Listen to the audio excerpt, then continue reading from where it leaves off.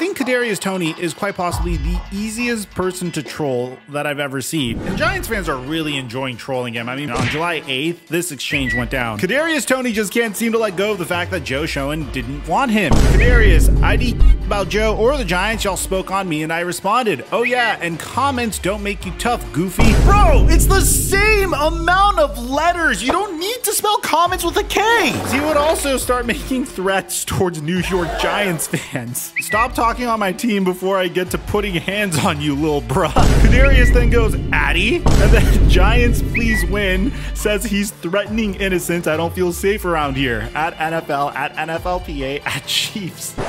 Are you can't make this up.